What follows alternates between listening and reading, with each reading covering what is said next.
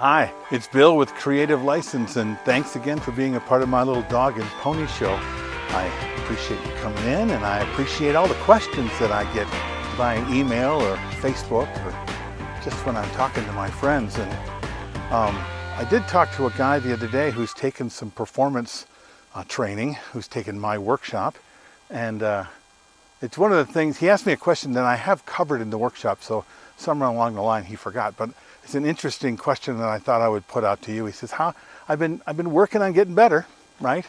And I go do my thing, but how do I know if I'm getting better? How can I critique myself? How do I know if I'm having an impact? And uh, well, how, how do I know if I'm getting better? He really was talking about critique. He was talking about where am I supposed to get that? How am I supposed to know? I mean, I'm the only one who sees what I do. So I get it. I understand. I mean, number one, I mean, a good critique is seen from outside of you. Not everybody can get someone that they trust to be able to look at their performance and give them uh, good, strong critique so that they get better, right?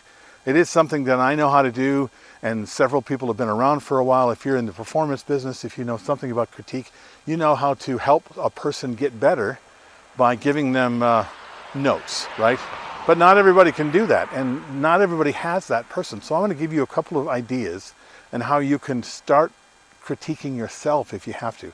That would be, that wouldn't be the, the way to go if you have someone you can trust to do that. Okay, and you really want to find someone who understands, not just a not just a friend. Okay, someone who's going to be hard. Anyway, here's some self-critique things you can do, and uh, some of it I learned from when I worked in radio and some of it I learned while I was uh, training with uh, people with my acting career. Okay, um, simple. Number one, you want to record yourself while you perform.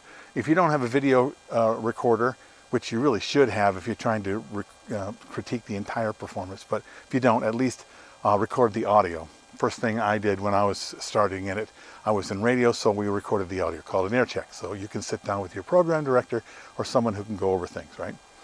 But let's say nowadays you can set up your phone and you can videotape yourself with everything that you do. Set it up in the corner of the room, videotape everything, videotape yourself, don't erase anything, and then you have it. Now, as soon as you get it back from your performance, the first thing you want to do is put it aside. Don't look at it, okay? You really don't want to be looking at that stuff right away. You need to let the performance sit. It's in the ether. There's nothing you can do about it, and you certainly don't want to watch it while you're working. It'll really mess with your head. So give it a couple of days, maybe a week. And then take out those tapes, and I want you to play them. But I want you to play them, and then while you're doing it, be doing something else. Kind of listen as if you aren't, as, as if you're a guest in the party. In other words, half the time people are hardly listening, right? You want it to be playing in the background. You don't want to take notes. Uh, you don't want to make comments, you just want to play it. You do that a couple of times. And then the next day, do it again, but this time sit down, watch it, and every time you see something that you think could be better, or you can see a moment where you think you could have adjusted, then write it down. Don't stop the tape, write it down, okay?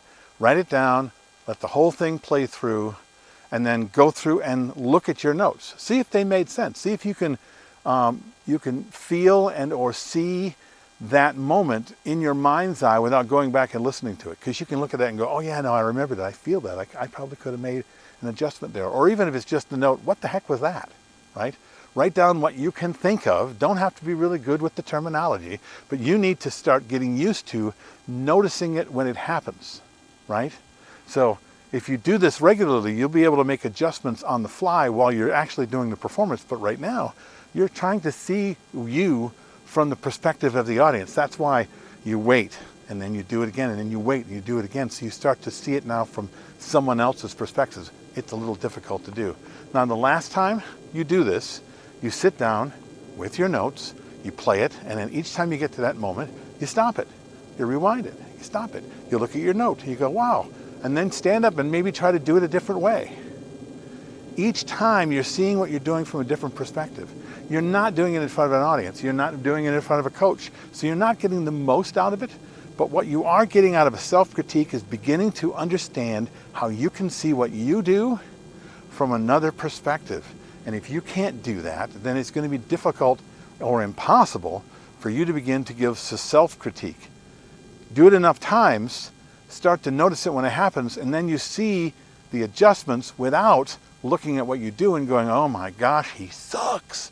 Oh my gosh, how'd you get out of this? That's why this little thing I just went through, it's very important if you're going to do it this way. That's like a way to do it. But the number one way I talked about at the beginning, find someone who's not seen you perform. Show them the tape. Let them critique it and let them give you some forced feedback that you can listen to and you can be open to. That's number one. The other, it helps you in a different way. I think you can see the difference, can't you? Tell me what you think. Write it down in the comments, and I'll see you next week on Creative License. Bye.